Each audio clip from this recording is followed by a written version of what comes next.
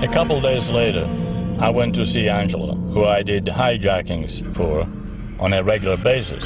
It was a way to make money while taking time off from doing hits. Joseph, how you doing? Hey, Franco, how are you? What happened to your eye? Ah, nothing, just a little scratch.